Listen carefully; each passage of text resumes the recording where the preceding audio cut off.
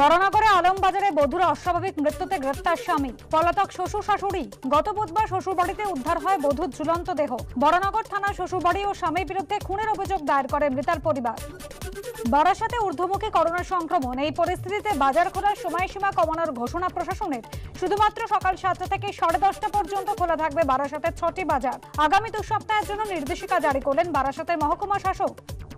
এবার চুচুড়ায় মনুয়া কাণ্ডের ছায়া। যুবকের অস্বাভাবিক মৃত্যুর অভিযোগে তিন স্ত্রীর বিরুদ্ধে। অভিযুক্ত স্ত্রীকে মারধরের অভিযোগ স্থানীয়দের বিরুদ্ধে। অভিযুক্তকে উদ্ধার করে হাসপাতালে ভর্তি করেছে পুলিশ। স্ত্রী আর প্রেমিক মিলে যুবককে বিষ খাইয়ে খুন করেছে অভিযোগ মৃতের পরিবারের। ডিভিসির ছড়া জ্বরে প্লাবিত পান্ডুয়ার কয়েক বিঘা কৃষি জমি। আতঙ্কে বৈচি গ্রামের বাসিন্দারা।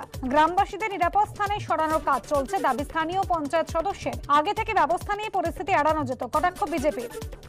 রেজিস্ট্রেশন ফর্ম সংসদে জমাই দেয়নি স্কুল, তাই মেলেনি মার্কশিট। এই অভিযোগে আসানসোলে আছড়া যজ্ঞেশ্বরী উচ্চ বিদ্যালয়ে বিক্ষোভ দেখাল পড়ুয়ারা। অভিযোগ খতিয়ে দেখানো আসে সহকারী স্কুল পরিদর্শকের।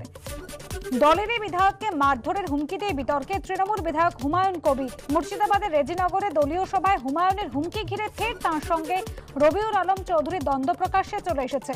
হুমায়ুনকে শোকজ করেছে তৃণমূল। জলপাইগুড়ির মেচেলিতে দলের শ্রমিক নেতার বিরুদ্ধে রাস্তায় নামলেন তৃণমূলের পঞ্চায়েত সদস্য।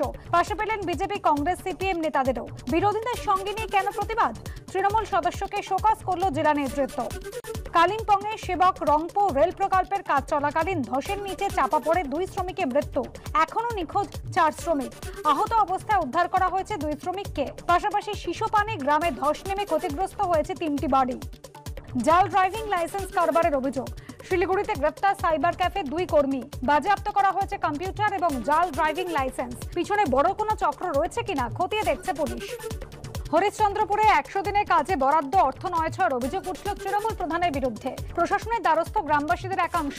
মন্তব্য এড়িয়েছেন অভিযুক্ত প্রধান। পাশে না দাঁড়ানো বার্তা জেলা তৃণমূল নেতৃত্বে। শাসক দলকে কটাক্ষ বিজেপির। করোনা রুখতে পূর্ব বর্ধমানে কড়া বিধিনিষেধ জারি। বর্ধমান শহরে রাস্তায় মাস্ক বাধ্যতামূলক জানিয়ে জোরদার অভিযানে নামল পুলিশ। বর্ধমান পুরসভা এবং বীরহাটা মোড়ে শুরু নাকা চেকিং। দ্রুত শহরে আরও চার জায়গায় নাকা চেকিং শুরু হবে জানিয়েছেন পুলিশ সুপার।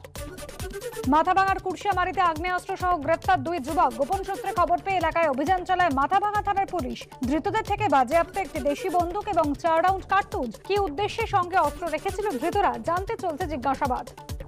জাতীয় পরিবেশ আদালতের নির্দেশে মহিষাদলের রূপনারা নদের তীরে পাঁচটি বেআইনি ইটভাটা ভাঙল প্রশাসন। শাসক দলের মদতে বেআইনি ইটভাটা গড়ে উঠেছিল। কটাক্ষ বিজেপির। অন্যায়কে প্রশ্রয় দেওয়া হয় না দাবি তৃণমূলের। দাসপুরে শিলাবতী নদী পার হওয়ার সময় নৌকা ডুবে। সাত আটজন যাত্রী নিয়ে নদী পারাপারের সময় নৌকাটি ডুবে যায়। স্থানীয়দের চেষ্টায় বড় সড় দুর্ঘটনা এড়ানো গেছে। উদ্ধার করা হয়েছে নৌকার সব আরোহীদের।